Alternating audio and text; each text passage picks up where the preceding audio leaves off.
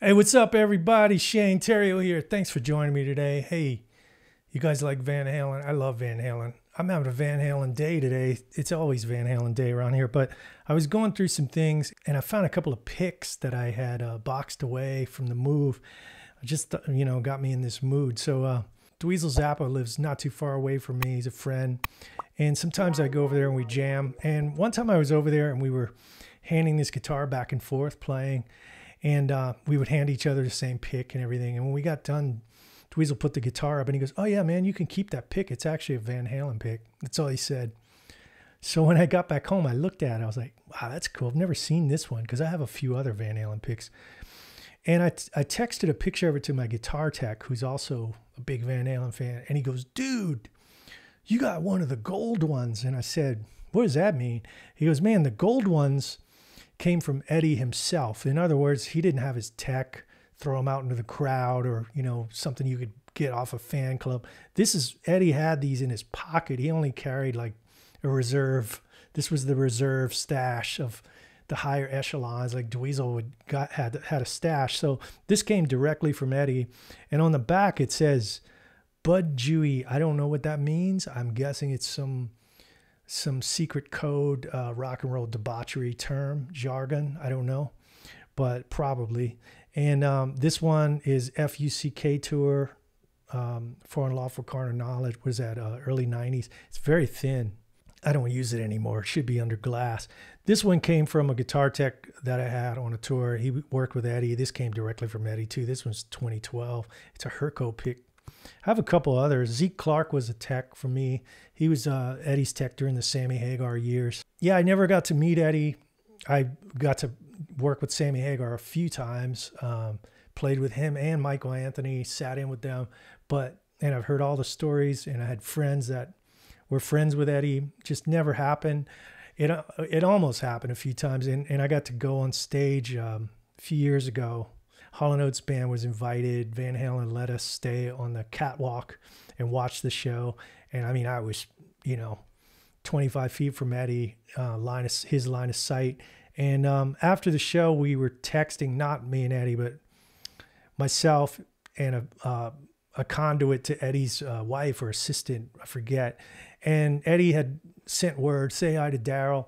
And I said, you know, why don't you come on the show? And I got word back, said, tell Daryl to call me and just never happened. I don't know, man.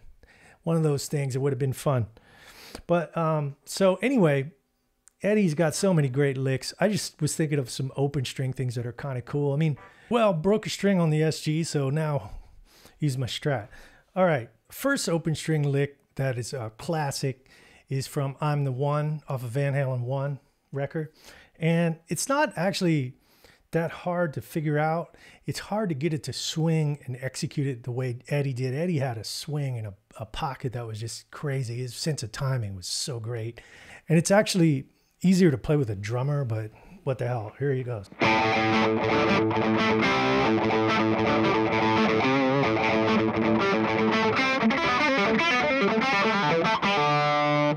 That's the lick. It's hard as hell to play without a drummer, and you have to mute it to get it to speak because it's all open strings. So it's a rake across an A minor triad.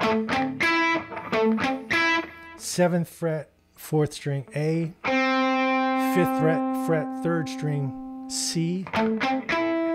That's a um, E, fifth fret, second string. So, and then you pull off to an open B on seventh fret, pull off fifth fret, pull off to an open G, hammer on to seven. That's the.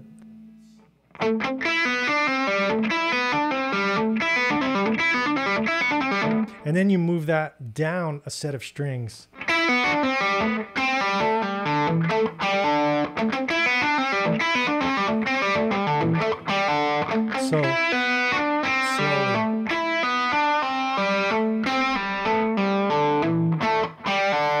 To speed.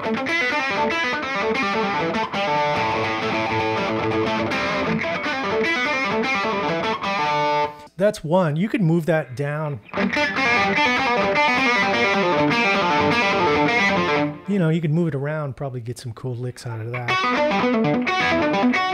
when you talk about open string repeating rapid fire riffs, you know, Jimmy Page did the old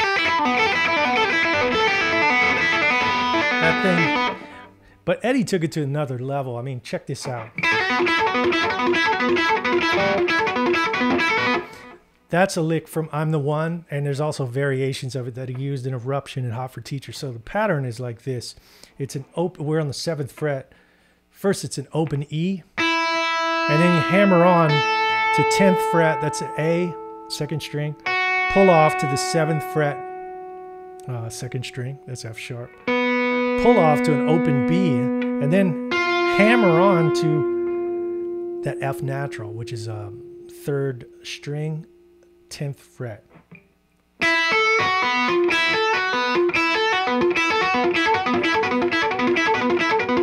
And then I'm muting with my right hand to keep to get the notes to speak.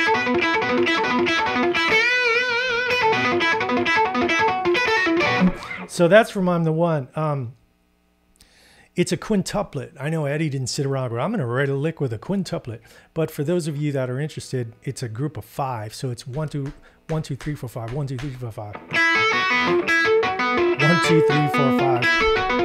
That's why it sounds so twisted, because it's just it's just a hip, uh, you know, rhythmic. Uh, what do you call it? You're forcing five in the space of a note.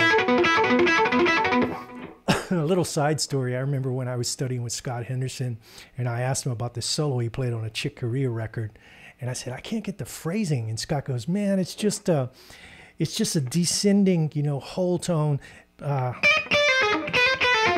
but it's in it's in quintuplet, so it's." One, two, three, four, five. One, two, one, two, one, two, one, two, three. One, two, one, two, three. And I was like, ah, I couldn't figure it out. And Scott goes, dude, it's like this.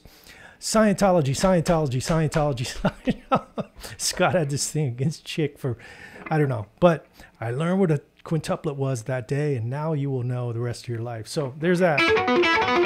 You can move it down a whole step.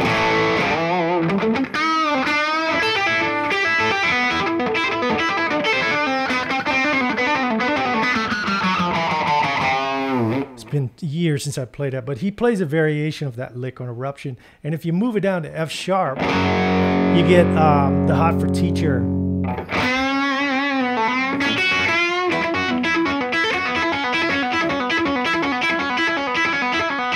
Something like that he would do.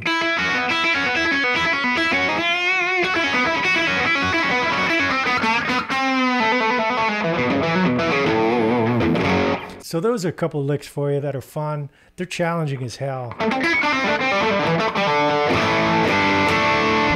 Eddie Rules. Hey, thank you for tuning in. Hit like, subscribe if you like this. I'll be back. Theriot out.